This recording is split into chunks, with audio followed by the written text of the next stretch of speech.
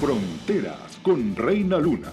Autoridades de Texas y Tamaulipas se preparan para el impacto que tendría la tormenta tropical Francine que se espere afecte desde mañana por la noche y toque tierra cerca de la frontera entre Texas y Luisiana. Por lo pronto, los estados se preparan para los fuertes vientos y las intensas lluvias que Francine traería consigo. Las clases fueron suspendidas en Tamaulipas.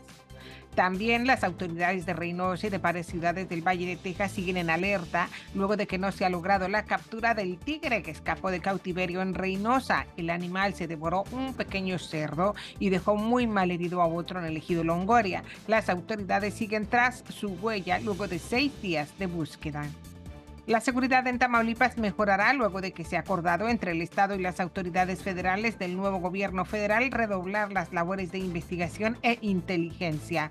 El acuerdo fue logrado tras una reunión que realizó el gobernador Américo Villarreal con el siguiente secretario de Seguridad Pública Nacional, Omar García más inteligencia y también con mayor instrumentación de equipamiento para poder ir equiparando a los eventos que estamos pulsando que día a día se dan en, el contexto de nuestra entidad, la propia y también las que se dan en otros espacios de nuestro el Instituto Nacional de Migración proyecta mayor apoyo para los migrantes que se desplazan hacia el norte del país, dijo el titular del Instituto Nacional de Migración en Reynosa, Mundo Doguín, quien comentó que los migrantes ya no son mantenidos tras rejas y que se les brinda desde alimento hasta atención médica. Agregó que el flujo de extranjeros en el norte de Tamaulipas bajó en un 80%.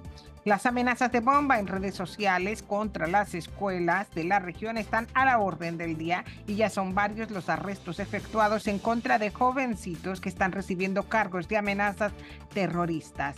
Los últimos dos de solo 13 años en la secundaria Carlos Truan del Distrito Escolar Ed Couch Elsa. ¿Está usted bien informado? Buenas noches, Texas. Buenas noches, Tamaulipas.